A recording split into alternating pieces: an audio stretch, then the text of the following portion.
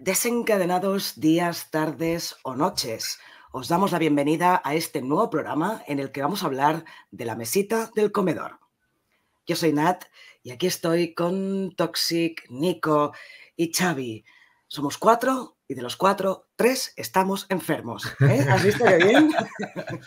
es lo que tiene la primavera, amigos. Eh, bueno, empecemos por el que no está enfermo. Eh, Nico, es tu tercer programa ya. ¿Esto qué quiere decir? Pues quiere decir que, nos vais, a, que nos, vais, no, vais, vais a librar de mí.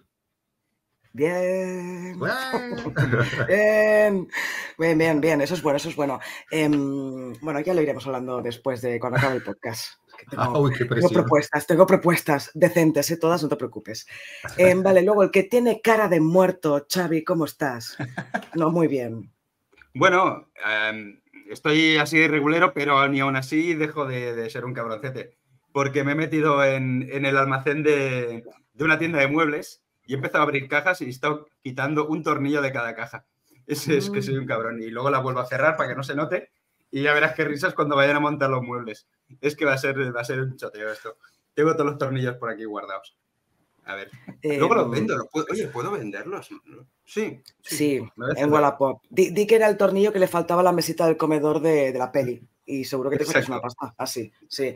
Eh, que sepáis que Xavi dice que tiene una sorpresa que la sacará en medio del podcast. Nosotros ya la hemos visto y según cómo se ponga, la gente que está viendo esto en YouTube también puede ver cuál es la sorpresa de Xavi, así que tan sorpresa no es, ¿eh? la próxima vez, yo no sé cómo debes esconder los regalos de Navidad, pero vamos, muy bien no se te da, ¿eh, Xavi? Ya, te lo digo. Qué, sorpresa ni qué niño muerto. Por favor, bueno. Me ha dolido hasta a mí esto, ¿eh? Em, vale, sigamos. No, perdón. No, no pido perdón. Puto Xavi. Oye, pues a mí en las mesitas de comedor o en cualquier mueble del IKEA, a mí siempre me sobran tornillos, nunca me faltan, siempre ponen de más. Mm, igual que los Lego, los Lego que me compré alguna vez, siempre sobran piezas. Supongo que para que no pase lo que pasa en esta peli, me imagino. Y hasta aquí nuestro análisis en cine desencadenado, que vale muy bien. ¿Qué es eso? Toxic. Gran reflexión, ¿eh? Por tu parte, gran reflexión. Sí, sí, me ha encantado. Bueno, oyentes, vamos a hablar con spoilers desde el principio, así que si todavía no habéis visto la mesita del comedor, os recomendamos que os vayáis a Filming a verla porque empezamos ya a hablar con spoilers. Entonces, empezamos con las valoraciones. Em, yo no tengo, o sea, sé que nos ha impactado a todos, pero no tengo ni idea de por dónde van a ir los tiros de las valoraciones. Así que eh, Tóxica ha dicho que le pregunte primero a Nico, así que sus, Madre mía. Mm, de esos son órdenes. Nico, venga. tengo que arrancar. Pobrecito, pues ¿eh? Al novato le dejamos la responsabilidad de valorar esta peli. Somos muy y además que no es, no es como valorar sonrisas y lágrimas o yo qué sé.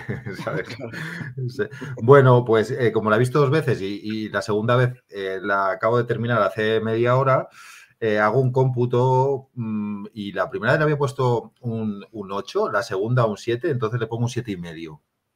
Porque claro, esta película, cuando no tienes ni idea de qué va, que fue mi caso, el efecto sorpresa de lo que ocurre, que es tan heavy, lo pierdes en, el segundo visionado, obviamente. Entonces, pero está guay para fijarte en, otros detalles y, fijarte en los puntos fuertes y de repente también ver ahí esos puntos débiles, pero como el planteamiento es tan tremendo, eh, me parece que, está muy bien llevado porque, porque, porque están por encima los, puntos fuertes y, los momentazos, que hay un momentito que ya hablaremos y eso luego, que a mí se me, se me cae ahí un poquito y luego me, vuelve a, remontar, pero me parece una película súper incómoda, súper necesaria y viva el cine políticamente incorrecto. Bueno, bueno, ya empezamos. Bien, bien, bien, está bien, porque igual que es arriesgado hacer una peli de este tipo, yo creo que hacer un podcast, una peli de este tipo, también es arriesgado. Así que, bien, me gusta, me gusta que empecemos así. Venga, em, es que me, está dando una pena Xavi, con esa cara de muerto que tiene, de verdad, ¿eh? Es que está con fiebre, pobrecito, y se le ven así las ojeras. Pues mira, tú, Xavi? Ya, sí, ya aprovecho, digo que estoy con fiebre por culpa de esta peli.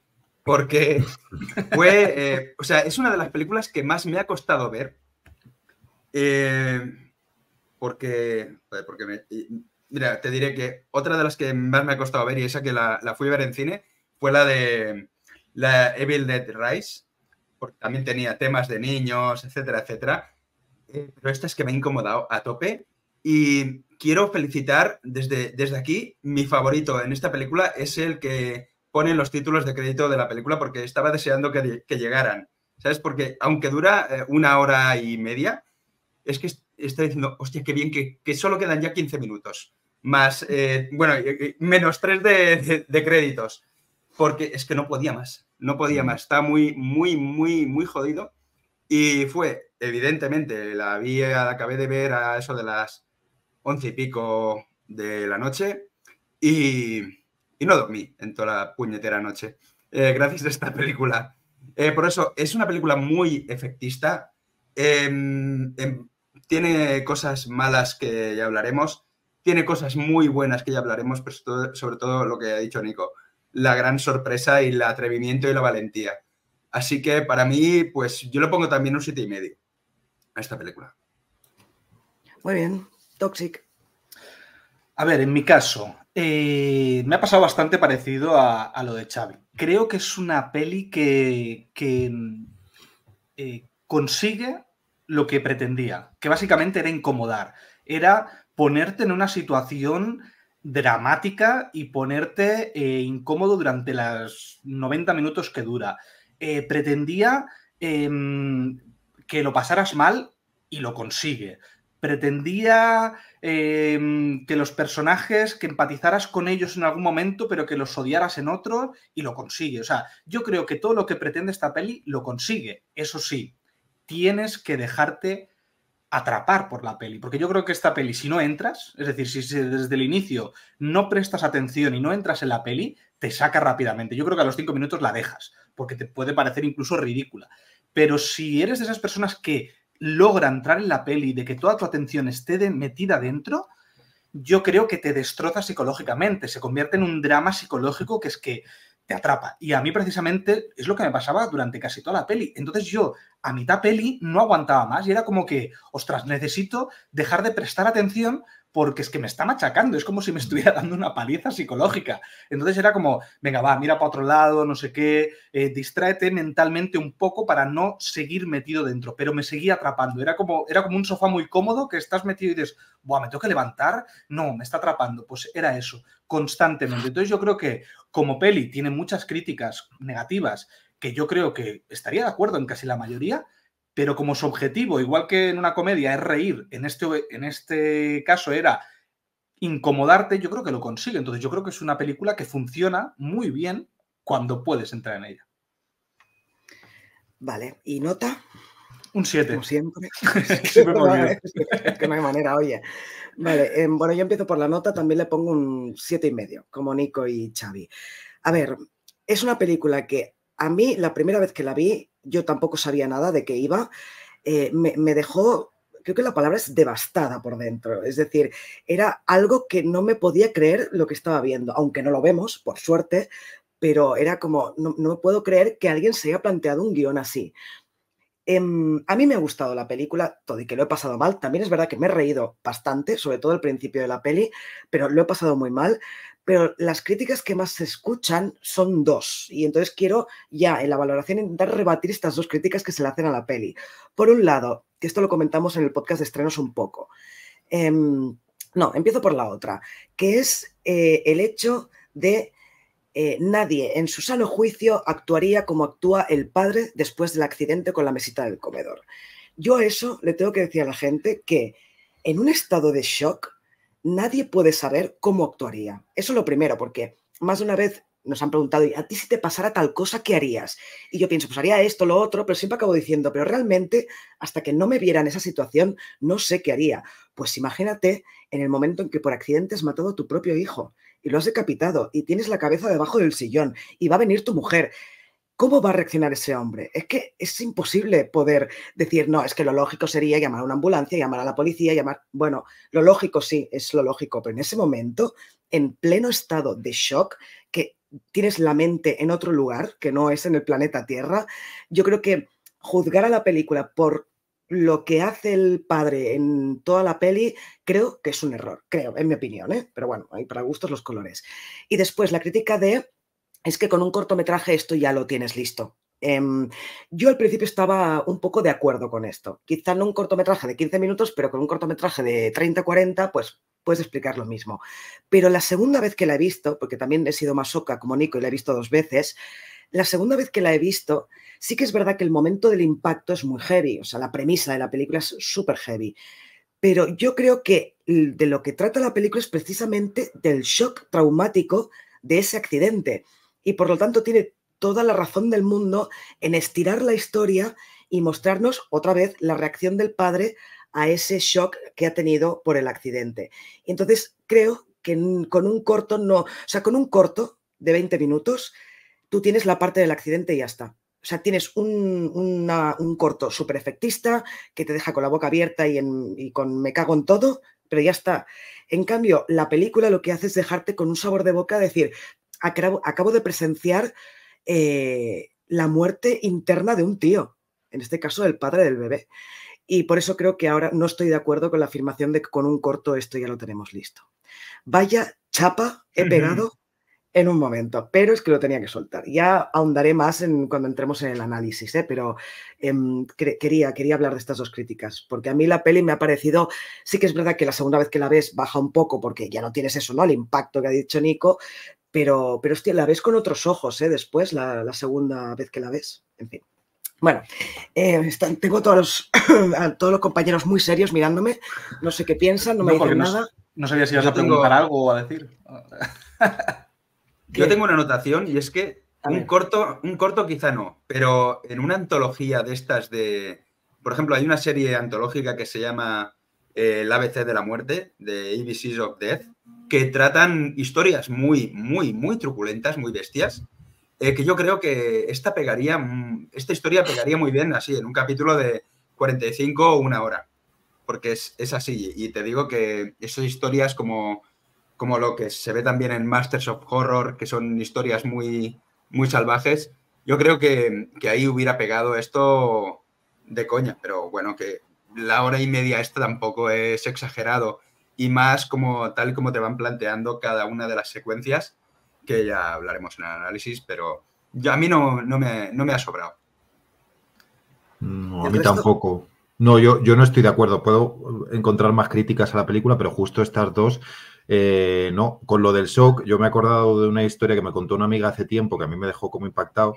En una piscina municipal de, de unos pisos y tal, eh, una niña que se ahogó y la madre eh, se sentó al borde de la piscina, abrió la bolsa de patatas y se empezó a comer la bolsa de patatas. Y su hija acababa de, fallecer ahogada. Esto lo pones en una película y dicen, va, esto no puede ser. Pues esto me lo contó una amiga que había pasado en el este de, vamos, en un este de pisos, o sea, en, en una comunidad de vecinos. Claro, yo por eso digo, es que cualquier reacción es como, no es lógico, pero esa es que esa situación no es lógica que se te muera un hijo de forma tan brutal, y menos que encima tú eres el culpable. es que eso... Sí, sí, sí, estoy de acuerdo. Em, precisamente esto era lo primero que os quería comentar cuando íbamos a pasar al análisis, porque yo creo que es una de las cosas que yo también he escuchado mucho de la crítica que iba por ahí, pero es que estoy totalmente de acuerdo con lo que decís. No solamente es el shock, que sí, precisamente es el shock lo que sucede aquí, pero es que em, hay situaciones en la vida que te pueden pues, provocar un shock en, ese momento, que, alguien muera delante tuyo, lo que sea. Hay cosas que pueden suceder en tu vida que sean un shock, pero no se me ocurre casi nada más grave que esto. ¿Por qué? Porque realmente esto es algo que, que vas a recordar toda tu vida. Es imposible que llegues a olvidar esta situación. Em, em, has cambiado no solamente tu vida, sino que has cambiado la vida de mucha gente. Em, tu mujer, eh, tú mismo, tu familia, qué van a pensar de ti. Cualquier persona que oiga esto va a, cambiar radicalmente el pensamiento sobre ti. Es una situación tan, tan, tan radical que es que es imposible que haya una previsión de cómo actuarías en esa situación. Es lo más grave que a mí se me puede llegar a ocurrir. No me parece nada peor que esto. Es, entonces, claro, Mm, prever lo que puede una persona en esa situación hacer, a mí me parece hasta lógico lo que hace, porque lo único que, lo único que está haciendo realmente es ganar tiempo. El comportamiento que tiene él es ganar tiempo. No es que actúe y haga cosas raras, no. Su único objetivo es ganar tiempo. Y a mí ese comportamiento de ganar tiempo me parece lo más lógico dentro de esta situación, porque es, ¿qué hago? ¿Qué hago? Es que no puedo hacer nada más. Por lo tanto, lo único que puedo hacer es ganar tiempo. No sé, me parece lógico. Y el tema de, si es un cortometraje, es que precisamente yo creo que lo que busca esta película es incomodar. Por lo tanto, podría haber durado tres horas, porque lo que pretende es incomodarte todo el rato, todo el rato. Por eso te va contando cosas a medida que va la peli que te van haciendo acordar del bebé, porque hablan de, de ay, que, que está embarazada la otra, ah, es que no sé qué, ay, ¿dónde está? ¿Cómo está el niño? Escuchamos no sé qué todo el rato te van haciendo recordar el niño. Por lo tanto, esto dura tres horas y te machaca mentalmente mucho más. Por lo tanto, a mí, ¿podría haber sido más corto? Sí, pero es que podría haber sido más larga también. Sí. Bueno, si os parece, ya hablaremos más en el análisis. Ahora pasemos a la ficha técnica.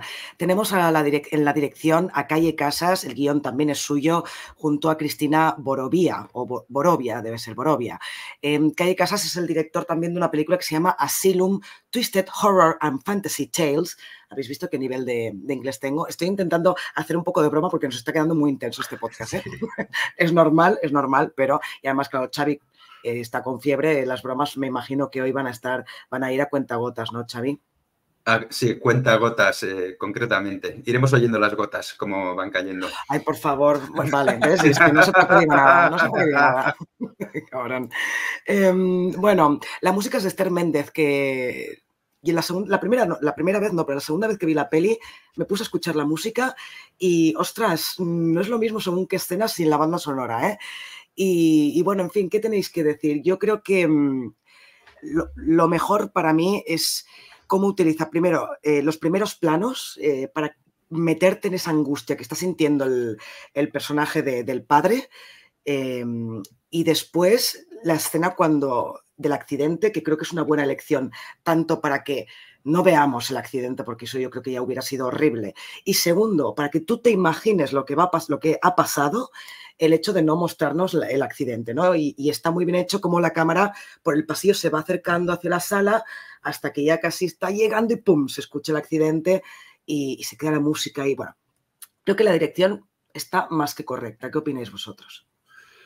Eh, ¿Puedo? Eh, sí, pues em, yo esta segunda vez que la he visto, claro, eso se me escapó la primera vez, pero no sé si, si os fijasteis que cuando justo es el accidente, que salpican unos cristales y se ve la sombra de la cabecita que entra por debajo del sillón. Yo la primera vez no lo, vi, pero la segunda sí que me fijé. Y me, la he rebobinado varias veces y digo, me cago en ¿Qué masoca, tío? No, porque. No, no, por enfermedad mental, sino por una cosa como muy. decir, ¿cómo lo han hecho? Porque todo, todo, todo puede ser tan grotesco y, consiguen que no lo sea, que está tan en la línea de algo tan heavy a mí me parece, y esta vez me ha pasado igual que, me he fijado en, lo técnico, me parece que todo el espacio sonoro, la música, que luego la he estado escuchando, que la música me parece un acierto, me parece brutal, la canción infantil que suena cuando ocurre el accidente, todo eso y eh, los encuadres, eh, los planos, hay planos que son como un poco contra natura, como la propia peli que, es. Entonces, es como si fuese un realismo mágico, pero a mí me sale llamarlo realismo pesadillesco, ¿sabes? Porque, porque te lo cuenta de una manera que... Sí, sí, así. Me quedo tan ancho. Es como, como una cosa muy, muy oscura dentro de lo cotidiano y eso me, flipa cómo lo cuentan, los, elementos que utilizan para contarlo. Eso, eso me gusta un montón esta segunda vez. Muy bien, Toxic.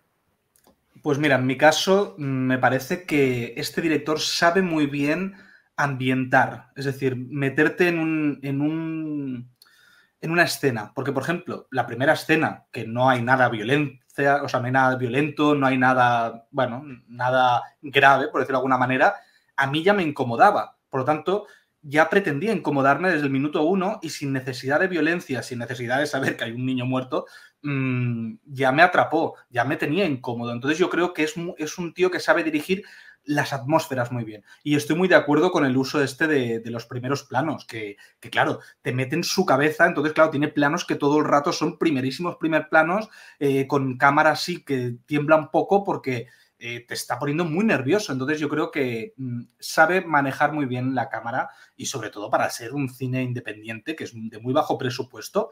Ostras, está muy bien elegido lo que, lo que, lo que te presenta en pantalla en cada momento. Así que yo creo que a nivel de dirección me, ha gustado mucho. Es el gran acierto que tiene esta película.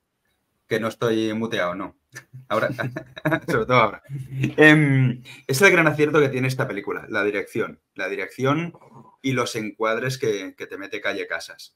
Porque hemos hablado de primeros planos, pero los planos detalle del suelo, eh, de la gota, o sea, te va llevando, te hace instantáneas para llevarte a donde quiere, hasta llegar a la parte de abajo de la, de la butaca, además que te lo tiene difuminado para luego eh, enfocarlo y que veas ahí sin mostrar, que es muy inteligente eso, ¿eh? Puede llegar a lo grotesco y no, y no acaba de serlo. Eh, podríamos decir que es hasta elegante, que, te, que veas una forma, pero no veas realmente bien, bien lo que, lo que hay, ¿no? Y esta escena lateral eh, en la que mete la mano para intentar coger la, la cabecita, o sea, es, me di cuenta aquí de que eh, quiero ver más cosas de, este tío, o sea, ya sean más políticamente correctas o no, porque eh, Calle Casas eh, parece que es un tío que sabe dirigir y sabe meterle mucho suspense y hacerte llevar a donde él quiere, que, que pienses lo que, que tú creas que va a ocurrir algo y luego te jodes porque no, porque no va a ocurrir lo que tú crees que va a ocurrir, va a ocurrir otra cosa. Y eso me ha maravillado en cuanto a, en cuanto a dirección es, eh, es un en cuanto a dirección, para mí es un 10 esta película. Bueno, pues pasemos al reparto. Tenemos a David Pareja haciendo del padre, a Estefanía de los Santos interpretando a la madre. Eh, luego tenemos más actores y actrices, ¿eh? pero yo solo quiero destacar a Itziar Castro, que falleció en diciembre del año pasado y la verdad es que no me esperaba verla aquí y me hizo mucha ilusión porque me supo muy mal que muriera esta actriz. Y además que me parece genial el papel que hace, muy cómica también esa escena cuando estamos viendo todo el drama en casa con el padre, toda la comicidad que tiene esa escena de la madre con Itziar Castro en el supermercado. ¿no? Em, ¿Qué os parece? Porque a mí yo creo que los dos... Eh, los dos protagonistas están geniales. David Pareja me parece que hace un papelón, yo me lo creo por completo. Y, la madre, el momento, es que me puso muy nerviosa, pero a la vez no me podía parar de reír, que es el momento en que están en la cocina, cocinando, y ella no para de reírse porque se ha roto la mesita del comedor. Eh, ahí es como que me estaba poniendo muy nerviosa porque, claro, ya sabemos lo que ha pasado, pero por otro lado me estaba haciendo mucha gracia por la risa de esta tía, que lo hace muy bien. Es muy difícil reírse eh, de esta manera. Tú, Nico, supongo que lo sabrás que eres actor, pero yo me imagino que mantener la risa tanto rato para una actriz o un actor debe ser muy chungo, ¿no? En una escena. A mí ella me parece una bestia en el buen sentido como actriz. Es que es súper visceral y es un torrente. Y sí, lo que dices, o sea, yo no sé cómo, cómo mantener, mantener el tipo, mantener la risa y además es una risa entre desagradable, contagiosa, terrorífica, insoportable. Dices, por favor, para ya. Y a la vez también dices, joder, que, de puta madre lo haces. ¿Cómo puedes hacerlo tan bien? Sí, sí. Mm. Algo que queráis decir del. A mí lo que me ha pasado es que es cierto que actúan, actúan bastante bien. Quizá no tanto cuando están dialogando, me los creo menos, pero cuando tienen que, que expresar emoción sobre todo al principio y al final de, la película, y está increíble, porque al principio además que no sabes lo que va a hacer, ves que está como sufriendo, no sabes qué ocurre, de repente tiene al bebé en sus manos, pero es que no sabes si lo va a abrazar o lo va a estrangular. Es que como yo iba con un hype de que no se sabía qué iba a ocurrir en esta peli, o sea, no sabía qué puñetas por dónde me iban a, ir, ¿no? Y me pasé sufriendo desde el minuto cero hasta, hasta, el, hasta el 90. Entonces, eh, qué bien eh, muestran emociones eh, los actores, pero me caen mal todos. O sea, han conseguido que todo el elenco me caiga mal por, por las acciones que, realizan, menos el, de, menos el pobre vendedor. Ese me, cae bastante simpático. ¿Te, cae bien el vendedor? Uy, es un personaje.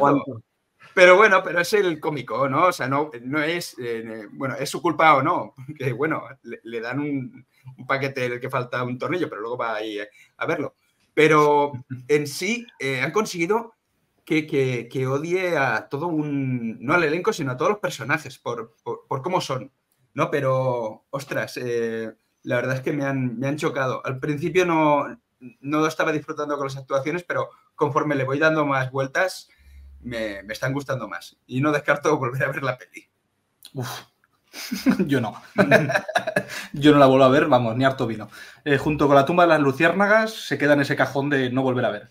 Eh, bueno, el reparto. Eh, yo creo que Estefanía de los Santos hace un papelón. O sea, me parece que es la que mejor actúa de todos. Me parece que, es lo mejor de la peli a nivel de actuación. pero ¿qué es lo que me sucede con David Pareja? Que yo no sabía que ese tío era actor. Es decir, yo este tío lo conocía de Instagram, de Reels, que hace así de comedia y tal. Y, claro, yo lo había visto en cosas así, pero no sabía su al actor. Entonces, claro, cuando lo veo en la peli, me parece que está haciendo de sí mismo. Entonces me cuesta un poco entrar. Pero luego, cuando empiezo a ver la parte donde tiene que hablar menos e interpretar más a nivel facial, a nivel de, corporal, ahí sí que me empieza a convencer más. Entonces empiezo como que no, no me gusta mucho y acabo que creo que es una gran actuación a pesar de que veo que hace de sí mismo, porque no le veo que haga un papel un poco diferente. Pero bueno, me gusta mucho. Pero destacar también eh, tanto Eduardo Antuña como la niña, la niña pequeña que no sé cómo se llama, creo que es Gala Flores, em, los dos, estos dos papeles secundarios, creo que son secundarios que te acuerdas de ellos. Igual que hay otros secundarios que te olvidas, porque muy fácil olvidarte de los secundarios. Creo que son dos que saben ganarse su papel y están muy bien elegidos a nivel de casting, porque no sé si actuarán mejor o peor, porque tampoco aparecen tanto, pero ostras, me convencen mucho ¿eh? de, sus dos roles en la peli, así que muy bien, el reparto muy bien, la verdad. Yo voy a decir una tontería. ¿No recuerdan en la pareja protagonista? ¿No recuerda un poco a Camela? Ambos los dos. sí, un poco sí, ¿eh? ¿En serio? ¿Por qué? Un poquito, no sé, el, aire, ¿no? Me, faltaba que se pusieran a cantar. Un poquito. Cuando, sí, cuando están los dos juntos, como en. Como, sí, como lo ves, ¿sabes? Eh, con el, el, pelo de David Pareja también, obviamente. Eh, sí, sí, a mí también me, lo parecía. Bueno, mira, aquí eh, hay gente. ¿Qué cosas? Ven, ven, Nico, es que esta gente ve niños muertos y se acuerdan de, de, Camela. Cada uno hace lo que puede con su vida. No pasa nada. Venga, Xavi, si puedes, ya puedes ir a curiosidades. Vale, pues decoramos las estanterías con cabezas de, niños, como, como, yo he hecho, y nos vamos a curiosidades. A ver, es, va a ser un mix entre la sección que suele hacer Jordi de sí, la verdad es que sí, y, las curiosidades, porque quería explicaros sobre todo qué recorrido ha tenido esta película, cómo nos ha llegado esta película. Eh, empezamos con una curiosidad que es la película se rodó en 10 días en el apartamento de una amiga de calle Casas. Eh, la película, por su temática y crudeza, y crudeza psicológica, fue rechazada incluso por el Festival de Sitges, especializado en cine de terror y fantástico. Y según palabras de Calle Casas, lo de Sitges fue un batacazo tremendo, teniendo en cuenta que Matar a Dios del 2017 ganó el premio a la mejor película otorgada por el público en el Festival de Sitges y el mismo año gané el premio al mejor cortometraje por RIP y fui jurado de la sección Brigadún del Festival de Sitges. Había una buena relación y esa decisión me dejó bastante cao. Imagínate que, que tienes esa buena relación y te dicen, no, pues no puedes presentar la película porque es que muy bestia, nosotros somos Sitges, ¿sabes? Que, que aquí vienen pelis guays y estrenamos por Things y cosas de esas, ¿sabes? Em, entonces. el problema es que en Sitges se ven cosas muy heavy, ¿no? Y que no hayan aceptado esta película, eh, pues me parece también una cosa para poder hablar de ello, ¿no? ¿Y qué os parece? Porque, vale, sí, evidentemente es un bebé eh, quien muere en la película, es horrible, pero es que hemos visto cosas horrorosas en miles de películas. Yo he ido a Sitges y he visto cosas que digo, madre mía, qué horror. Eh, quizá no peor, no, tienen por qué ser peor que esto, pero hasta llegar hasta el punto de no aceptarle la película, cuando además no es que sea una basura y que sea eh, gratuito todo lo que vemos en la mm. cinta, sino que creo que está bien hecha, eh, ¿no? Todo lo que hemos estado hablando hasta ahora. Así que no dejar que se presente, o al menos proyectarla durante el festival, por eso, a mí la verdad es que no me parece correcto, al menos. No sé qué opináis. Yo no lo entiendo. A mí me sorprende un montón también cuando se lo escucha el director, de decir, pero si no entra en Sitges, entonces ¿en qué, en qué festival? Si es que está hecha para, para ese festival. Y lo que dices, yo hay pelis que me han podido a lo mejor remover más o parecer más desagradables. Aquí en lo que es desagradable ya sabemos lo que es, pero que eso sea como el argumento para no seleccionar, si ese realmente fue el argumento, creo que sí, ¿no? Que, que les pareció demasiado incómodo la temática, pues no, no, no lo entiendo tampoco.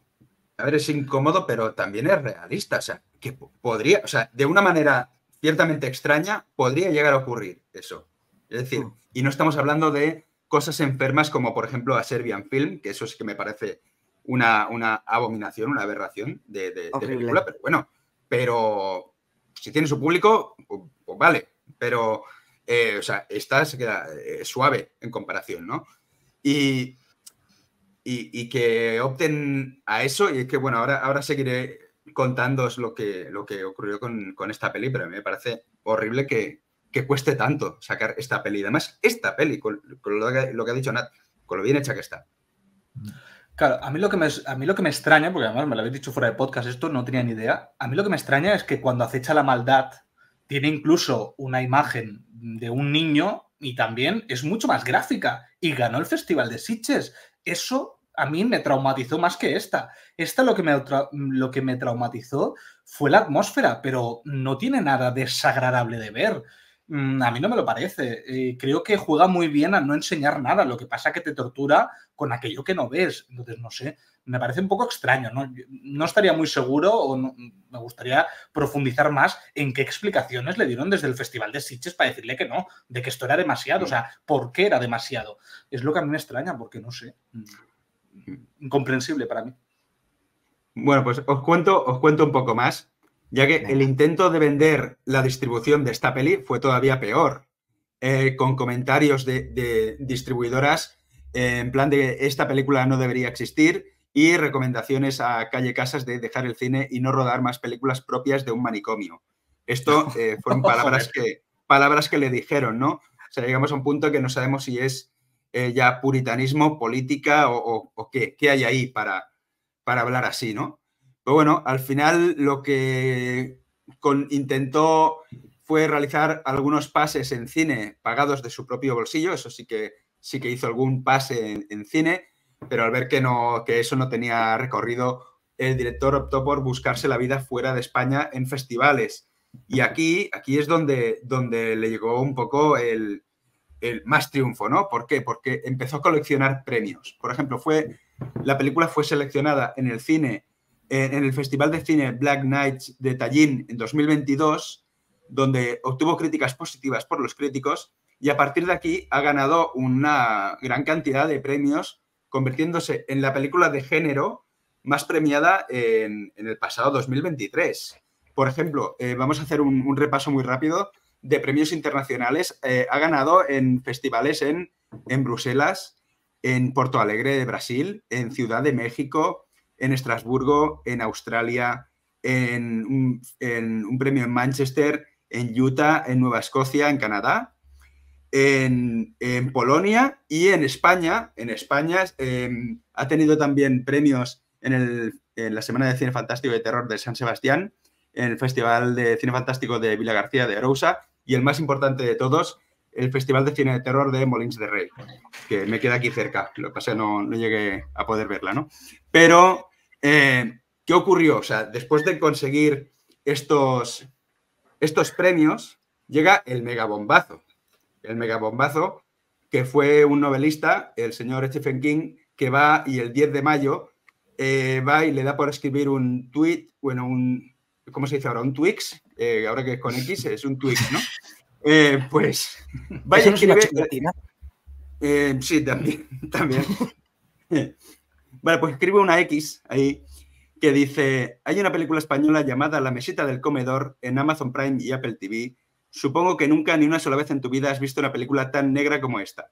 Es horrible y también terriblemente divertida. Piensa en el sueño más oscuro de los hermanos Cohen. Y al respecto de este tweet, eh, Calle Casas dice al respecto.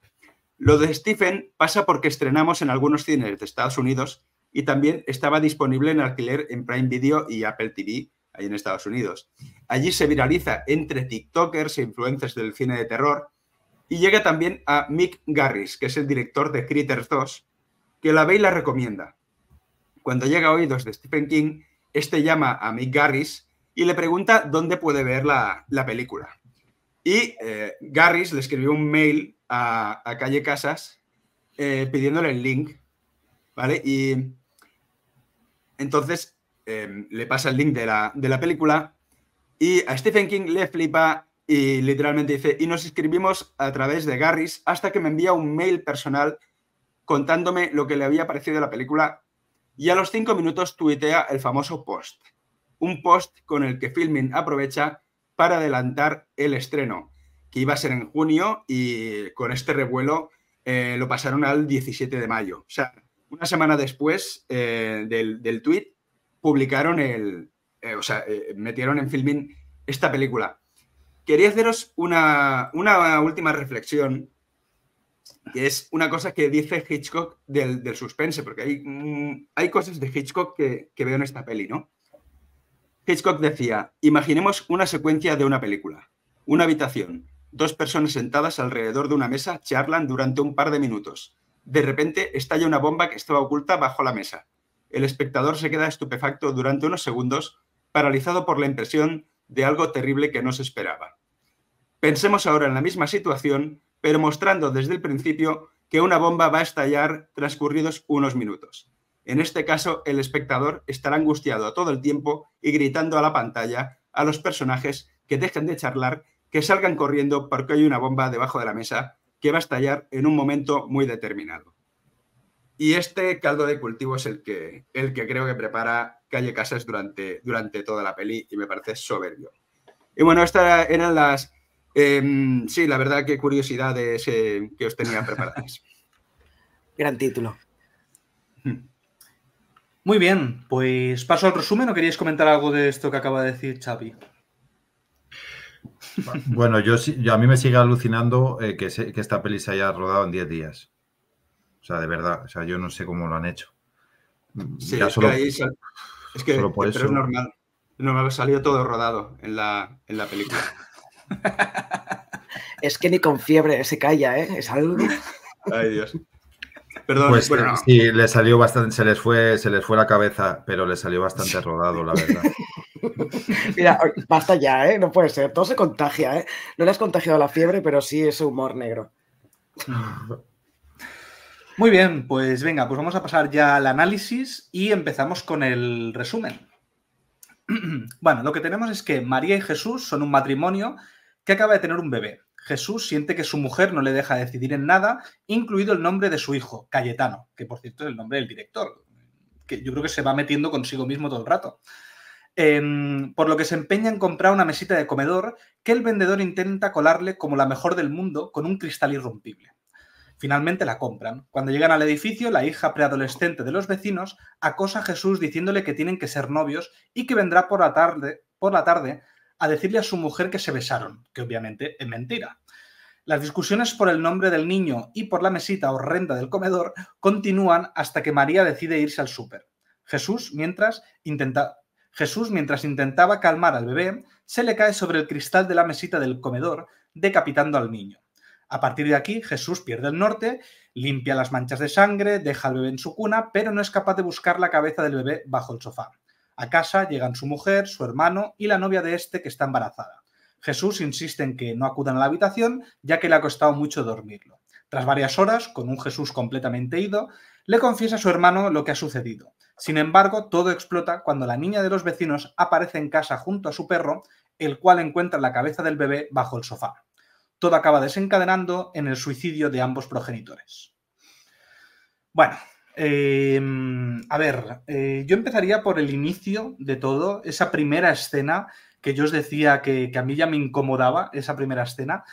Pero claro, está construida muy bien porque conocemos la situación de los dos y por qué le eches esa mesa tan horrenda. No, no sé qué os parece, ya me diréis si os, gusta o no, pero eh, ¿por qué se empeña tanto en comprar esta mesa? ¿Y por qué se le da tanta importancia? Que además es una especie de McGuffin para que lleguemos al momento donde la mesa tiene un valor muy importante, que además me parece el mejor título de película desde hace mucho tiempo, porque es perfecta para la peli.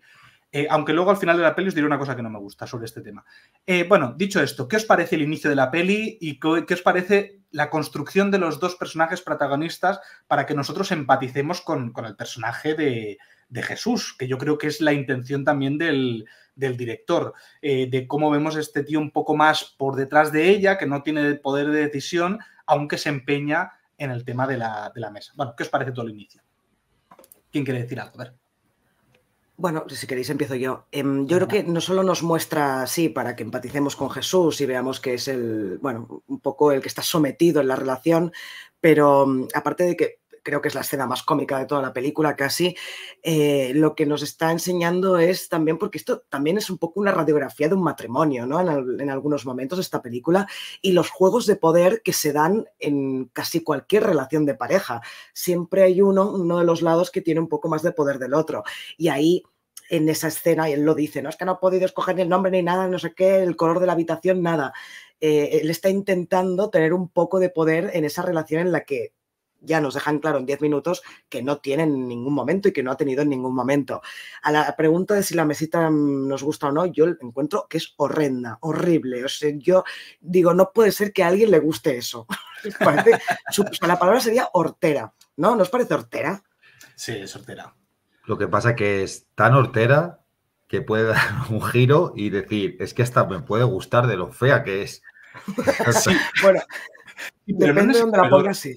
Pero, no, en ese comedor, en un comedor que a lo mejor tenga algún sentido esa mesa, pero claro, ahí es como si pongo esa mesa en, mi en el comedor de mi casa, es que no pinta nada, no tiene ningún sentido. Claro, yo esto le veo en estilo francés más propio de, la Revolución Francesa, ¿no? Sobre todo por, lo que ocurre, que es el modelo Guillotine 2000. Eh, eh, bueno, eh, es fea, pero tiene su gracia también. Em, brilla mucho, tiene oro, oro de ese, de ese muy y además con cristal irrompible. Eso es una maravilla. Cristal irrompible. Eh, lo que pasa es que a mí me sabe mal porque ahora, por culpa de lo que ha pasado, las valoraciones que va a tener el producto se van a ir a la mierda. Bastante. Las valoraciones en, Google, en Amazon, donde esté este producto, va a ir, va a ir de, mal en peor, como la distribución de la peli. Pero bueno, eh, no, que la mesa es fea de cojones, que sí, que sí. menos mal, menos mal. A todos coincidimos, sí, sí. Pero también es verdad, ¿eh? depende de dónde la pongas, incluso lo que dice Nico, ¿no? Depende de dónde la pongas, incluso podría tener su gracia. Em, pero bueno, sí, toda esta escena me parece. Y además que te engancha desde el principio, porque sí que es verdad que yo no. Y creo que todos aquí, nadie sabía, ¿no? De qué iba la película antes de verla por primera vez, nadie. Vale. Em, no he leído la sinopsis de Film Affinity. No sé si lo dice directamente. Eh, bla, bla, bla, bla, bla, bla, bla. Eh, no, no lo pone.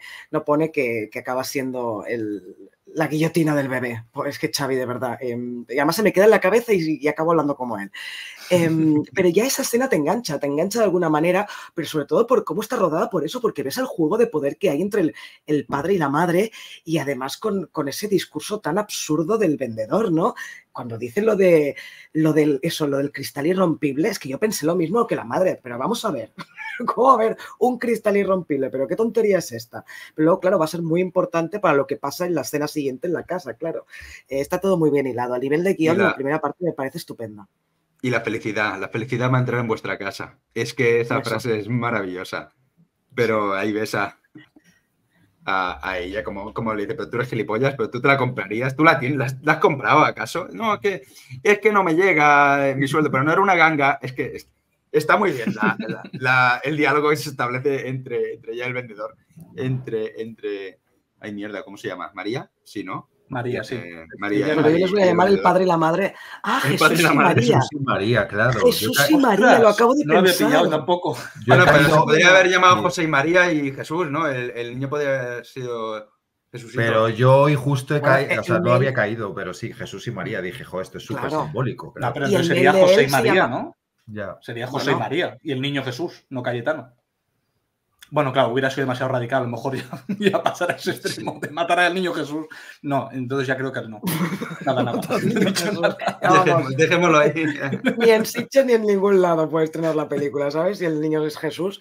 Número uno en el eh, Vaticano, la película, seguro. sí, sí, seguro.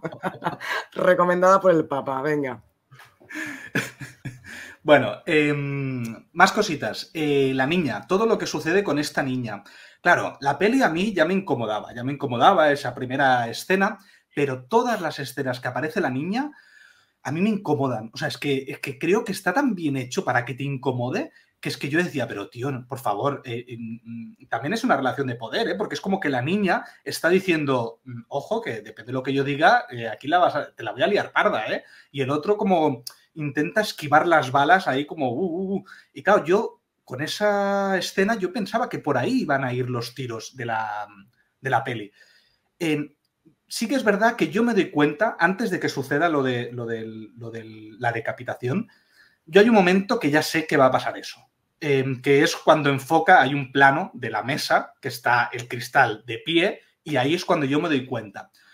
Entonces, eh, vosotros todo este inicio, donde está la niña y demás, ¿qué estabais pensando? ¿Por dónde pensabais que que iba a ir la peli? Yo, hasta el momento de ese plano donde pierde el tornillo y está la mesa de pie, o sea, la mesa no, el cristal de pie, hasta ese momento yo pensaba que iba a ir con el tema de la niña pero hasta. Pero vosotros, ¿en qué momento, qué, pensabais? yo no lo pensé en ningún momento, ¿eh? o sea, yo me quedé en shock como, como el padre, no lo pensé. De hecho, hubo un momento que pensé, a ver, se llama La mesita del comedor, es una peli de terror, pues estará maldita. O sea, yo lo que pensaba es que la mesita estaba maldita o algo así, eh, pero no, nada más. Perdón, Nico, que ibas a hablar, de No, digo que eh, es que yo con el plano este que está fijo y que se va acercando lentamente por el pasillo, de repente fue como, ¡Ah! no serán capaces. Ahí sí que tuvo un momento de, ay Dios mío, que va, que va a pasar esto. Y como tardaba, iba, iba de un lado para otro, acunando al niño para que dejara de llorar. Dije, Dios mío de mi vida, que va a ir por ahí. Pero fueron nada, unos segundos antes. Yo hasta entonces, eh, muy fan de la niña, yo soy fan a muerte de la niña, me parece casi el mejor personaje de la película. O sea, eh, tiene un punto Alex de la Iglesia. Eh, me recordó a una escena de crimen perfecto no sé si os acordáis eh, en esa película que están en una cena y que la niña dice, una niña de 8 años o 9 dice, estoy embarazada de gemelos y he cogido el SIDA. Y empieza a decir barbaridades una detrás de otra y la madre clava el cuchillo, me estás quitando la vida. es una cosa muy loca. De humor negro absurdo y, y a mí la verdad que eso es lo que más me enganchó de la película y es lo que eché en falta en su último tramo que el humor negro y el punto extraterrestre mm, desaparece bastante. Pero bueno, eso ya es otra historia. Pero yo hubiera apostado más por la comedia negra. Pero para Perdón, ¿eh? ¿Pero reísteis? Sí, al principio me reí, ¿eh? bastante. Al principio, sí. sí. también al principio, pero no sabía. Yo también concuerdo en que, bueno, no sé si ibas a decir esto o no, Nico, pero a mí, el, o sea, una de las cosas que no me gustan de la peli es que el final es demasiado dramático para la película. Eso, es lo que no me gustó. O sea, eh, en los gritos de la madre, cuando tiene la cabeza del bebé en, brazos, yo ahí, eh, sí, muy incómodo como, como todo el resto de la peli, pero lo encontré que estaba como súper separado de cómo había ido toda la película hasta ese momento. Y, ahí pensé, claro, también tenías que darle un final, ¿no? Y evidentemente en el momento en que la madre se enterara de la, del fallecimiento del bebé, iba a ser una pesadilla eso, pero yo no lo hubiera hecho así. Pero bueno, esto ya sigue al final, ¿eh? perdón. Que no, sé, que, no sé ni qué has preguntado. Es que, para, mí, al final, es, preparar todos los ingredientes, te van mostrando todos los ingredientes eh, que vas a meter una, en una olla express y al final va a explotar todo, ¿no? Eh, pero es eso, te tienen que ir preparando a la niña y sobre todo al perro. Es que son como pequeños McGuffins que te van metiendo ahí sin que sepas que, lo son, ¿no? Pero ya, y durante la película vas viendo posibles soluciones o bueno, es que no sé si llamarle soluciones o exculpaciones de, mm, del, gran error que ha cometido, que ha cometido Jesús, ¿no? Eh, que a mí me parece, vamos, eh, me parece, eh, si la película se ha llevado premios, debería llevar también el premio al peor padre, al, bueno, al peor padre no, al padre más torpe, al Pepe Villuela. Es, que yo me imagino, o sea, el Pepe Villuela con, las sillas ahí, que, que no sabía cómo ponerla. ¡Joder! Que, pero ¿cómo se te puede caer un niño? O sea, bueno, eh, claro, el, cristal está roto, el cristal está roto porque creo, claro, no, no te enseñan qué ocurre. Entonces te haces las teorías, ¿no? Mi teoría es que tropieza, pues como está haciendo los gilipollas así, tropieza, le da con la rodilla a, la punta del cristal, lo parte y es ahí cuando se le cae, obviamente se le cae el niño, ¿no? Pero, pero coño, cuando, a ver, yo que soy padre, o sea, lo que más haces cuando tienes un bebé es enfocar los 100 sentidos en eso que tienes en las manos en ese momento. ¿Vale? Que luego se te caen. Los niños se te caen, sobre todo en la cama. Porque tú dejas un bebé en una cama, en una cama de dos por dos, y dices, pero si no se mueve, no se mueve el bebé, en la cuna lo dejo y no se mueve. Lo dejas en una cama de dos por dos y cuando te giras, nada más girarte, el niño aprende a hacer la croqueta. Aprende a hacer la croqueta y acaba en el suelo. O sea, eso es impepinable a todos los padres, creo que les ha pasado, les tiene que haber pasado. Pero claro, lo que le pasa a él es, eh, me parece, no absurdo, puede ocurrir, pero joder, tío, qué torpe eres, macho. Eh, ya está, era lo que tenía que decir. Yo no, yo no me atrevo a juzgarlo, ¿eh? Porque, o sea, son cosas, ¿qué es eso, no? Y lo has dicho tú, Xavi, al principio de la valoración, que es algo como que podría pasar, algo tan cotidiano que podría pasar realmente. Y, claro, no hay ni mala, a ver, no lo vemos, pero podemos entender que no hay ni mala intención ni nada por parte del padre, simplemente pues es una torpeza enorme pero es que es una cosa que yo creo que en un momento de lo que sea nos podría pasar a todos, porque él se le ve que está todo el rato mirando al niño, o sea, no está mirando por donde pisa. Se puede haber resbalado con los tornillos que estaban en el suelo, por ejemplo. Es que no vemos qué es lo que pasa. Y yo es que no puedo juzgarlo. O sea, es que me, da una cosa porque creo que este tipo de desgracias es que nos puede pasar a cualquiera. Eh, que es un torpe, sí, es un torpe. Pero, uff, eh, no sé, verdad, me da mucha cosa. No se puede juzgar. Otra cosa que también piensas, perdón, y, ya con esto acabo, es que otra cosa que también piensas, yo pensando, mientras lo estaba viendo, digo, me pasa esto y lo primero que hago es lo que hace, lo que hace la madre. Me tiro, me tiro por el balcón, me tiro bueno, lo, se acaba. piensa al inicio. Que se está a punto de tirar por escenas, Te van planteando escenas que mm. dices, ostras, va a ocurrir, luego no, sí, no, eh, eh, iremos hablando de cada una, pero yo lo estaba pensando. Yo ya, no, no es que desconectar, pero yo como estaba pensando ya, yo ya me hubiera tirado, creo, ¿eh? Es que, es que no, puedes, no puedes realmente ponerte en, el, en, eh, la piel. Y eso cambiará a los que sois padres, los que no somos. Quiero decir, yo esta película sí que no se la puedo recomendar a, los que son padres. O sea, porque me, matan directamente a mí. Eh, eh, dirán, pero. Y sobre todo de padres de bebés, yo qué sé, ¿sabes? Que, es como una película que es como, aunque te haya gustado, dices, no te la puedo recomendar, no me quiero hacer responsable de recomendarte esta película. Yo he de recomendado más esta película que recomendarla. Eh, de hecho, a Jordi, Jordi ya le decimos, ni la veas ni, ni vengas al podcast. Nada. No, no, no. Cierto. Claro, es que para mí Em, los accidentes existen, eso yo creo que siempre va a suceder y pueden pasar las cosas más inverosímiles que podamos pensar, porque los accidentes al final son caóticos. Pero sí que es verdad que yo creo que juega muy bien el director o el guion a, a decir, claro, es que esta mesa está aquí por un motivo, que es la cabezonería de él. Entonces es como que lo estás tú inconscientemente haciendo lo más responsable, porque si no fuera por su cabezonería, esa mesa no estaría ahí, por lo tanto sería más difícil que el bebé acabara decapitado. Eh, también el hecho de que lo decapite, yo creo que es una cosa que lo utiliza muy bien el director, porque claro, imagínate que le pasa cualquier otra cosa.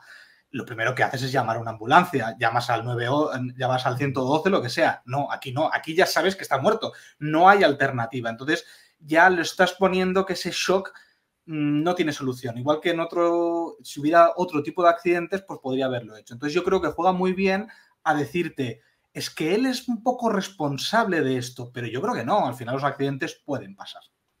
Y a mí lo que me pasa con esta película, que es, hay otras que por muy tremendas que sea el recorrido, dices, tengo una mínima esperanza de que pueda acabar bien. Y cómo digieres una peli que sabes que va a acabar fatal, pero dices tú, dentro del grado de fatalidad, ¿a qué grado va a subir? Pero no hay, no hay salvación, entonces es, es un sufrimiento de película, es una película que se sufre mucho por eso. Sí, es verdad. ¿eh? Yo no, dicho. Yo incluso llegué a desear que pasara algo muy bestia para poder decir, sí, es un hijo de puta, es su culpa. ¿Sabes? De que, yo qué sé, que, en la escena de la cocina que te están enseñando el, cuchillo todo el rato, que la matara y, dijeras, vale, eh, ahora eres el culpable, eres un puto asesino de mierda, ya estoy eh, tranquilo de que hay un culpable, ¿no? Y eres tú. O eh, de que la niña es una hija de puta y eh, de alguna manera em, la pueden incriminar de lo que ha ocurrido, ¿no? Pero, pero es, son excusas que te quieres buscar tú para, eh, porque es terrible que no haya sido culpa de nadie, entre, entre comillas, por así decirlo, ¿no? De que sea el azar. Exactamente. O sea, lo que no podemos tolerar nosotros es que el azar sea parte de nuestra vida. Por eso necesitamos encontrar un culpable, porque no, o sea, vivir pensando es que cualquier día puede pasar cualquier cosa porque hay un elemento azaroso en cualquier vida de cualquier ser humano, si te lo paras a pensar que no tienes el control sobre tu propia vida o sobre las cosas que pasan en tu vida o, a tu alrededor, es, es, horrible. Entonces, yo también hubo momentos en que pensaba, necesito necesito un culpable aquí, necesito un malo. Ya no un culpable, sino alguien que decir, ah, ese es el malo, ya está, ya estoy tranquila, tengo a alguien a quien, a quien odiar. Aquí no, es que no puedes odiarlo. Porque además es eso, no hace nada malo. Eh, lo único que vemos que quizá va a hacer al principio es eso, ¿no? Que parece que mira al balcón, mira hacia abajo y parece que se va a suicidar. Que dices, claro, yo pienso, pues quizá haría eso. No sé qué haría. Otra vez vuelvo a decir que en un estado de shock, a saber, Toxic dice que está ganando tiempo. Yo también pensaba que estaba ganando tiempo, pero es totalmente ilógico, porque tiempo para qué? o sea, el niño está muerto, eh, es que no hay nada más que hacer, o sea, simplemente estás retrasando lo inevitable que es darle la noticia a tu mujer y ya está. Pero supongo que quizá es, bueno, voy a tener eh, una hora, dos horas más de, de, vida, de tranquilidad mental, entre comillas, o que ella pueda tener dos horas más de tranquilidad mental y de vida más o menos eh, pacífica, ¿no? Porque claro, todos podíamos pensar también que en el momento en que, aunque yo, yo me esperaba que en el momento en que ella se enterara, le montara un pollo a él. Y no lo hace. Y esto me gustó mucho. Porque no está todo el rato montándole pollos también. Es que como está toda la peli montándole pollos, eh, eh, la gracia es que no lo haga al final, ¿no? Por así decirlo. Bueno, pero que también, por ejemplo, el pollo que le, Sí, no, pero el pollo que le mete más así es en el, cuando ella está en el supermercado, que él le cuelga el teléfono, no le contesta, eh, no le abre la puerta para entrar en casa. Yo también le hubiera montado un pollo ahí, claro, ya no sabe nada de lo que ha pasado. En plan, tío, ¿me estás tomando el pelo? O sea, ábreme la puerta, cógeme el teléfono, que te estoy llamando, coño, ¿sabes? Además, para tu hermano, qué tóxico. Mira, para mí, eh, la crítica que sí que le, hago más a la peli, eh, igual que el comportamiento de él no me extraña o lo puedo justificar, los comportamientos del resto de personajes respecto al protagonista, ahí es donde me parece que más cojea, porque el tío está en shock y además tú lo ves que el tío está en shock. Entonces, me resulta muy raro las conversaciones tan normales que van teniendo cuando, cuando realmente tú ves a una persona que está mal. Ahí sí que eh, es lo que mm, menos me gustaba de la peli. Porque yo decía, a ver, eh, hemos, em, hasta el momento de la mesita de, de noche, iba a decir, del comedor, hasta ese momento, este tío se tenía un comportamiento, era un tío súper irónico además, entonces, que es de repente se vuelva, o sea, se comporte de algo tan radicalmente diferente y que nadie pregunte por qué, ni insistan, ni lo tomen como algo normal, a mí no me gustó. ¿Ves? Eso es donde yo más le, le achaco la peli.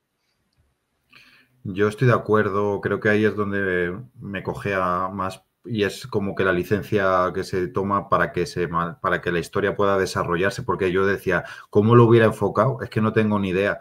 Eh, porque eso se rompe a cualquier momento no eh, lo normal lo normal dentro de la lógica sería eh, aquí a ti que a ti te pasa algo mucho más grave de lo que estás diciendo. Qué coño te pasa o sea esta cara no es normal. Y entonces es verdad que mantener esa supuesta normalidad dentro de una persona que está a punto de, de entrar en colapso y esa parte me parece muy difícil defenderla por parte de los otros eh, tres actores. Creo que ahí tienen, tienen un papelón tremendo, porque el más sufrido, agradecido y también muy difícil es el papel de él, pero que tiene como una constante que está dentro de un shock, que también mantener eso, que lo mantiene increíblemente bien el actor. A mí me parece que lo hace súper bien. Eh, mantener esa constante que parece que estás a punto de estallar, no pasarte, no sobreactuar, no subrayarlo. En cambio, ellos saben, obviamente como actores, saben lo que está pasando, con unos diálogos a veces muy difíciles de defender en una situación así, cuando le saldría a decir, mira tío, me voy a ver al niño porque yo tengo la mosca detrás de la oreja. Aquí, hay, aquí, aquí está pasando algo y es como la reacción. No sé, esa es la parte que me parece más difícil defender, pero creo que es como el precio a pagar por, por, el punto de partida, que no, no sé de, qué otra manera se podría haber eh, llevado la historia. Estoy, Estoy de acuerdo, ¿eh? eso es lo que más cojea. Pero claro, lo que hace el guion es esperarse al, momento álgido, que es cuando el hermano les dice que ella está, que su novia está embarazada y cómo reacciona a Jesús. Entonces ahí sí que se levanta, va detrás de él y va a buscar a ver qué pasa aquí, ¿no? Eh, claro, todos esos no sé, 30 minutos de película en que lo ves que está rarísimo, los otros no reaccionan, bueno, pues te lo tienes que comer un poco, sí. Pero bueno, a mí tampoco me sacó de la película, ¿eh? no para tanto.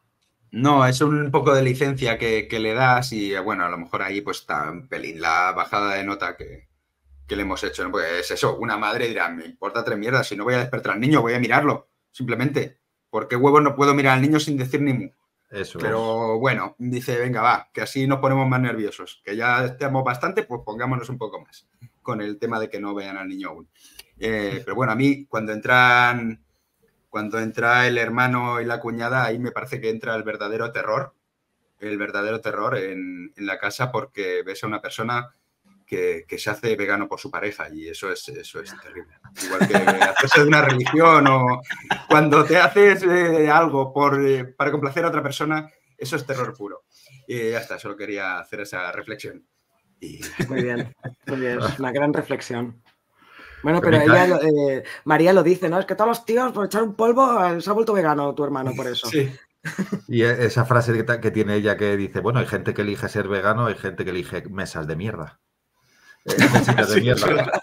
O sea, te juro, esa frase me parece buenísima. Se tiran unas pullas que la sutileza, vamos, brilla por su ausencia. O sea, son súper bestias el uno con el otro.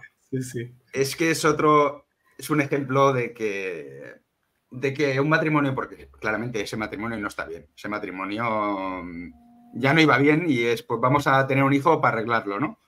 Pues no, no. Eh, los hijos se tienen para quererlos y no para arreglar un matrimonio. Em, y, y, hasta, y se, ve eh, se esta peli, ese matrimonio está mal desde, desde el principio, es que no están a la par. Realmente, eh, sí, puede querer, él puede querer a, a Cayetanín, puede quererlo, pero realmente mm, está en un segundo plano.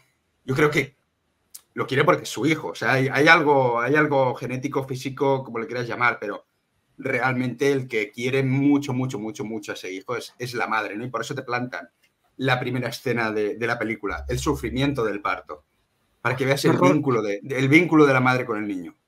Y eso es, el, sufrimiento que te lleva toda la película. Es que te lleva, ese sufrimiento te lleva toda la película porque además además de un grito exactamente muy parecido cuando está pariendo que cuando descubre lo que tiene entre las manos el cuñado. Y eso es lo terrible del, aspecto de, la película, del, final. Y sin querer me he ido al final, perdón. No, no, no, yo, yo pasaría ya al final. Yo pasaría ya al final. Sí, pero perdón, ¿nos pareció una de las eh, uno de los partos rodados más desagradables. Em, a mí ya, solo con eso ya empecé, ay, por favor, que, que, quite el, porque no es un primer plano, eso es un primerísimo primer plano, casi plano detalle de la boca, del sudor, de los ojos de la madre, cómo grita, todo eso. Ya ahí dije, ay, por favor, qué desagradable todo. Pero es verdad que empieza y acaba igual la película. Está, está muy bien eso. Es que un parto nos ha metido la idea de que un parto es eh, lo más maravilloso y lo más precioso que hay en la vida, es Mr. Wonderful. Eso la culpa la tiene Mr. Wonderful también. Que hay un gag de Amy Schumer muy bueno del niño diciéndole a la, a la madre, eh, el día que nací fue el mejor día de tu vida. Sí, fue, fue maravilloso, fue mágico, fue precioso. Y ves la escena del parto, la tía diciendo, hijos de puta, que me estáis partiendo el coño. O, sea, es terrible, pero dice que me estoy cagando, que me cago, que me cago. y mientras ella diciendo cosas bonitas al niño, ¿no? Y aquí te muestran una de las realidades, que no todo es bonito. Igual que en una relación, en un parto, lo que sea. Pero pretende incomodarte desde el, desde el minuto cero. Es que es eso. Sí, sí, sí. bueno, y yendo ya al clímax de la película, porque además, como, como ha dicho Xavi antes, todo lo que ha planteado la peli ha sido para esta escena, que es la escena donde todo confluye, donde tenemos, em, tenemos a, todos los personajes, digamos, menos el vendedor, están todos en, escena. Entonces, claro, vemos ahí como aparece la niña eh, con el perro, el perro corriendo, eh, vemos como el hermano había dicho, lo más importante de todo es que la madre no vea la cabeza. eh, claro, eso era lo más importante. O sea, ya nos están planteando lo que no debería suceder. Y obviamente va a suceder, porque esto es como, eh, si me lo dices, luego va a suceder. Igual que con la mesita. Sí, sí, la mesita del comedor te va a cambiar la vida. Efectivamente, te va a cambiar la vida, te la ha cambiado. Entonces, este clímax de película, que es lo más terrorífico que hay, eh, ¿qué os pareció? ¿Os gustó? a mí me pareció demasiado desagradable y demasiado especie de, intentar meter comedia en ese instante, no sé, me gusta, pero a la vez hay algo que me perturba excesivamente y no sé qué es.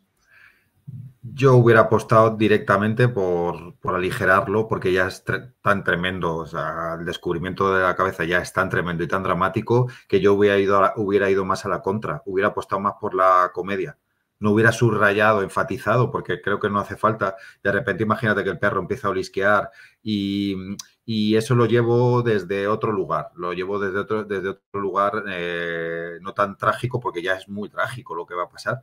Entonces, a mí este momento de comedia, no comedia de enredos, pero entra la niña, viene el perro, está el otro, la otra vomita. Pues si me lo cargas de drama, pues eh, no acabo de. Me queda, se me queda un poco en terreno de. Un poco en terreno de nadie. Suena un poco raro decir que yo hubiera apostado por la comedia, pero hubiera. Lo hubiera...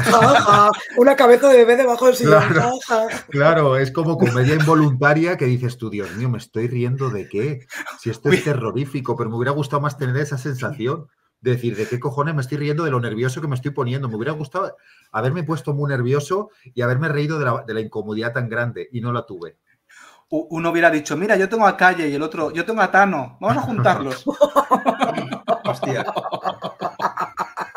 Bueno, es que, es que, ojo, que hemos hablado, que no hemos eh, estamos, estamos aquí echándole pestes, nos hemos pasado la peli y todo el mundo echándole pestes a él de la decoración de la puta mesita pero qué huevos pinta una cabeza de bebé de color gris en la estantería. ¿O se la está imaginando él? ¿O realmente está decorada la estantería? Pues qué huevos hace eso ahí. Si lo más horrible de decoración es eso y no, y no la mesita. Es que era la casa de la abuela. Ah, es verdad. Porque claro, es la casa de la abuela. Sí. Es verdad. la abuela es muy vieja. la casa es horrorosa. Eh, la abuela es de. La, la, abuela es la de Hereditary, por lo menos. Eh, madre mía. Es la de psicosis. la de psicosis de mi abuela. pues para, para mí. Mejor. para mí, este final es el fin de fiesta perfecto. Para mí, ¿eh? Porque yo ya estaba deseando, mira, que, acabe ya, que, pase lo que debe pasar, pero que acabe. Esos últimos 15 minutos eran, venga, ya queda, ya queda poco, ya que, reviente por donde tenga que reventar, ¿sabes? me da absolutamente igual. Y me parece muy bueno que vayan descubriéndolo uno a uno. Eh, el, porque dice, uy, ¿qué, hay ahí? El perro que lo saca, la niña que lo ve, la otra que vomita, el otro que la coge, el, él que se da cuenta y dice, mierda, ya, ya, no sé, ya no sé qué hacer. Porque bueno, ya, él ya quería despedirse, ya quería suicidarse. Cuando está en el baño lo descubre el hermano. Eh, pero claro, sé que es que solo falta ella y ya se lo está oliendo. Dices, venga, va, por favor, eh, da igual, que acabe ya, por favor. Y bueno, y acaba como, como, bueno, pues no está mal, como acaba. Dentro de lo que es, no está mal, todos traumados y muertos, en fin. Y una pregunta, no sé si queréis decir algo más de esta escena, porque yo quiero pasar al epílogo. ¿Queréis decir algo más de esto? ¿No? Paso al epílogo, eh, a lo que viene después. Perdón, eh, solo quería un apunte, que está, mm, está muy bien la justificación porque al final eh, es como que tienes esto de Hitchcock que ha comentado Xavi un poco antes, es como que tienes todo el rato una cosa en mente, que es que la cabeza del niño está debajo del sillón. Durante toda la película, ante toda esa eh, comida, ¿no? No escenas, comida, tienes en la cabeza que la, la cabeza está debajo del sillón. Y está muy bien la justificación para que el padre deje la cabeza ahí, que es que él intenta eh, cogerla, pero no puede. O sea, es algo que le supera totalmente y no puede eh, agarrar la cabeza. Y me encanta eso, cómo, cómo, van descubriendo cada uno de los personajes que la cabeza está ahí debajo. Y lo, del perro, a mí me parece un poco cómico, pero es como, ya está, es que lo va a descubrir el perro. Yo iba diciendo, me cago en la puta, me cago en todo, me cago en todo, que ya viene, que ya viene, que ya viene. Claro, es que estás ahí pensando, cabeza, madre, en algún momento descubrir cabeza. estoy ahí, mm. solo estaba con eso en la, en la cabeza otra vez, eh, todo el rato. Todo el rato. Sí, sí. Y, además, para mí, esa debería haber sido la última escena de la peli. ¿Vale? Por eso eh, quería hablar de, lo que es el epílogo. ¿Por qué? Porque a mí el que acabe ella mm, tirándose con la cabeza em, me hubiera gustado más, que hubiera acabado ahí. ¡Pam! Acaba la peli, perfecto, ya está. Pero no, te meten un epílogo donde me da la sensación que lo único que sirve esta escena, este epílogo, es para realizar un último chiste, como para decir, eh, porque el último comentario es, sí, la mesita del comedor, la mesita del comedor, la mesita del comedor. Se ve que el tío está repitiendo la mesita del comedor. Entonces, me da la sensación de que es, vale, pues cuando yo pensé en este guion era, Buah, ¿cómo puedo hacer la última frase? ¿Cuál, ¿Cuál es la última frase? Venga, va, va, ¿cuál es la mejor que puede haber? Y construyes este epílogo para poder decir esa frase. Y a mí eso es lo único que no me funciona. No, no me funciona como final. Porque me parece al final que un poco raro, porque además te, verbalizan, ¿no? Porque aquí ha habido no sé qué, se han suicidado los dos, eh, hay un niño decapitado, una embarazada en shock y el este que lo único que hace es repetir la mesita del comedor, la mesita del comedor. Yo me tomé el epílogo como una forma de decirte que él también se acaba suicidando, porque sí que es verdad que si acabas la peli con ese balcón vacío, que me encantó, ¿eh? como te muestran entre comillas, la muerte de la madre, el suicidio de la madre, tú te quedas con que la madre se ha suicidado y te preguntas qué habrá pasado con el padre. Y yo me tomé ese epílogo como decir, ah, vale, es que se han suicidado los dos. O sea, detrás de ella fue él. Eh, lo de la frase de la mesita del comedor, sí, se la podría haber ahorrado. Es como que el, final más feliz posible, que es que acaben los tres eh, juntos, muertos, porque es que es el único que podía...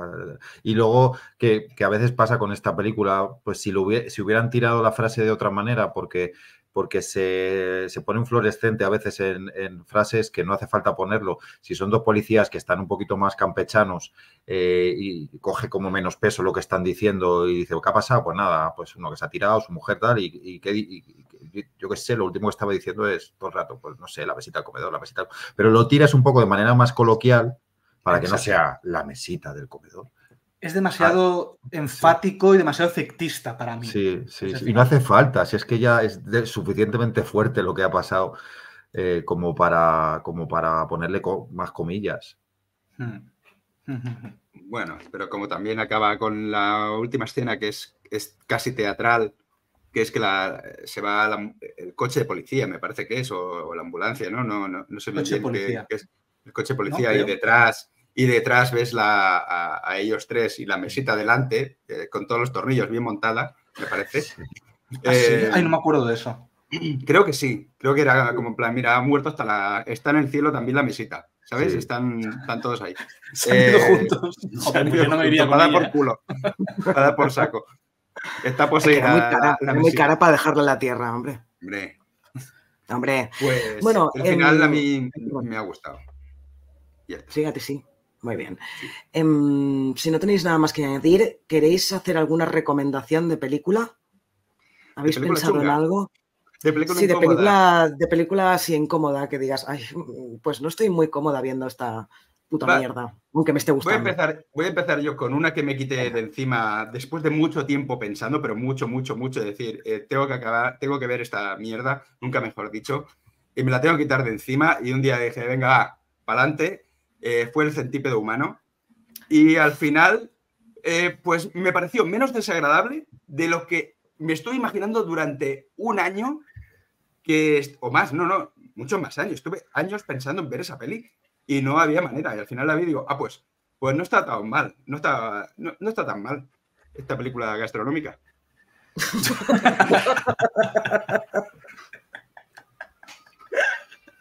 Esa es una peli, es tan asquerosa esa película tan asquerosa. Yo cuando la vi eh, dije, esta sí que no la vuelvo a ver ni aunque me paguen. De verdad. Sí, esa, en todos lados estaba, eh, estrenada en muchos cines. Sí, sí, es, una peli enferma, enferma totalmente. Y las otras ya no las he visto, ¿eh? pero creo que son peores. Pero bueno. yo, mira, la que he dicho antes, porque no, no había pensado realmente ninguna recomendación, porque últimamente creo que no. En los últimos no hemos hecho, ¿no? Recomendaciones, creo. Eh, ya, me había olvidado, la verdad. Entonces, la que, la que he dicho antes, cuando acecha la maldad, me parece así de las últimas que me han hecho sentir incómodo. no tanto como esta, pero sí que tienen una atmósfera eh, muy interesante de incomodidad. Eh, la de Cuando acecha la maldad me ha parecido una, una, muy buena peli para eso. Y fue la última que ganó el Festival de Sitges, así que mira, eh, ahí la tenéis. y no está en ninguna plataforma. dónde? No, todavía Justo no. La he buscado, la he buscado. Yo no la he visto, tengo muchas ganas de verla, Ay, pero he visto Te va a gustar, Nico, seguro. Ya. No, lo he visto. Le puse un 7 también. Llegará. Yo le puse un 8 a Cuando acecha la maldad. Eh, ¿Tú, Nico, te viene alguna a la pues, cabeza? Yo tengo eh, esta que me la he puesto en honor a películas enfermas. Funny Games, ya. Lo he visto al principio del podcast. Digo, míralo, qué bien. Y yo llevo me... la camiseta de, de, Superman, ¿sabes? Lo mismito. yo ha sido como, eh, creo que era el día de ponerme esta camiseta. Digo, venga, me la, me la voy a poner. Pero no, no voy a me he acordado de otra que está en filming. Digo, pues ya aprovecho y, y la rebusco. La miré el año pasado, que di con ella por de casualidad, una película sueca que se llama Cocody, Cocoda. ¿Cocodí, Cocodí o Cocoda? ¿Cómo se llama? Cocodí, Cocodí, Cocoda. Vale. Con K, Cocodí, Cocoda. Ah, eh, con K.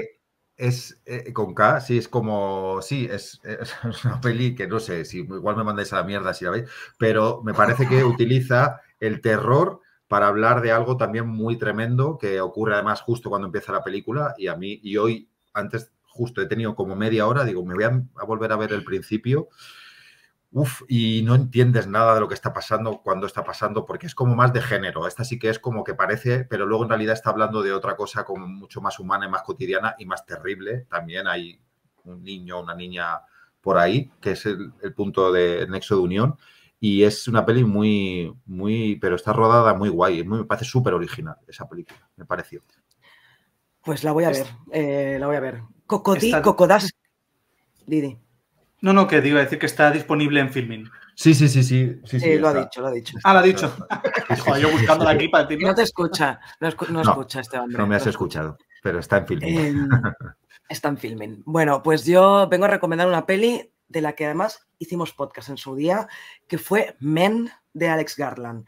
Película que para mí es muy desagradable, me mantuvo en tensión durante toda la película, es una peli muy rara, no tiene ese inicio que tiene esta de la mesita del comedor, pero sí que creo que el final eh, ya vale la pena de rareza por todo lo que te has comido antes. Así que si a alguien le apetece ver una peli que eso te genera un tipo de angustia y se te mete ahí por la mente y por las tripas, yo recomiendo ver Men, que también están disponibles en Filming. ¿eh? Y luego que se escuchen el podcast que hicimos de Men en su día. ¿Sí? Muy bien. Muy, muy bien, pues nada, pues lo dejamos aquí. Oyentes, no os olvidéis vuestros me gustas, vuestros comentarios en Evox, en YouTube, en donde sea, en todas partes. Esperamos que os haya gustado este podcast de la mesita del comedor y por si no nos vemos desencadenados días, tardes o noches. Que vaya muy bien. Adiós, que vaya muy bien. Adiós, adiós, la mesita del comedor, la mesita del comedor, Jesús. la mesita del comedor. Xavi, que se te ha caído un tornillo. Eh, sí, y se me va la cabeza también. Hay algo, hay algo que no hemos comentado, hay algo que no hemos comentado, que es jesucito de mi vida 76 arroba gmail.com. Ahí lo dejo, ahí, ahí lo dejo. Hostia. Adiós. Chao. Adiós. Chao.